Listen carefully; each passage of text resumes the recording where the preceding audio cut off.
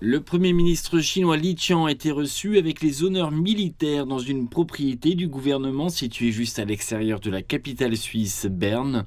La réception a été suivie d'entretiens bilatéraux entre les délégations chinoises et suisses. La police bernoise est en état d'alerte pendant cette visite.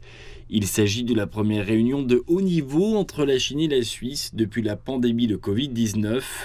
Le Premier ministre a également été accueilli par une foule joyeuse agitant des drapeaux suisses et chinois lorsqu'il a quitté son hôtel pour se rendre à la réunion. Très heureuse et je pense que c'est bien de voir les relations entre la Chine et la Suisse.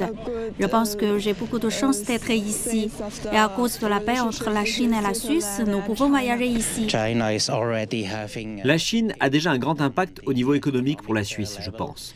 Et pour l'économie de la Suisse à l'avenir, il est vraiment important de aussi à l'extérieur que les relations sont bonnes. Les relations économiques et commerciales entre la Chine et la Suisse ont figuré en bonne place à l'ordre du jour, les deux parties ayant signé plusieurs accords. Il s'agit notamment d'une déclaration commune sur le développement de l'accord de libre-échange entre les deux pays et la possibilité d'une entrée sans visa en Chine pour les ressortissants suisses.